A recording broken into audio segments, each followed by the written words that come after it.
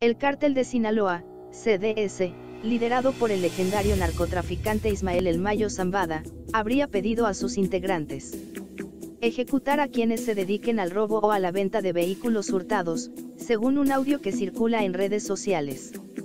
En el audio, se escucha la comunicación por radio de los presuntos sicarios del cártel de Sinaloa. Se oye como según uno de los sujetos que habla, la orden de ajusticiar a quienes estén en el negocio de los vehículos robados, viene de los jefes.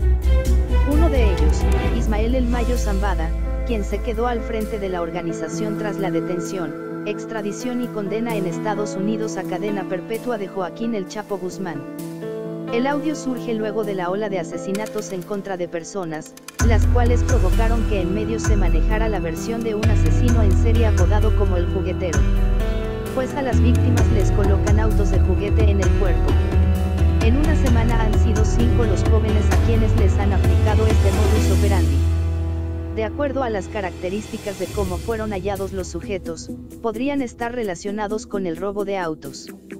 Ante ello, el secretario de Seguridad Pública del Estado Sinaloa, Cristóbal Castañeda, aseguró que la Fiscalía llevaría a cabo la investigación para determinar si los asesinatos tienen relación.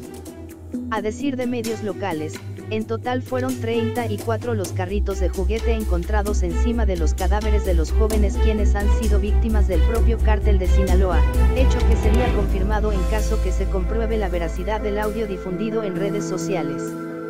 Más información en el blog del narco.com.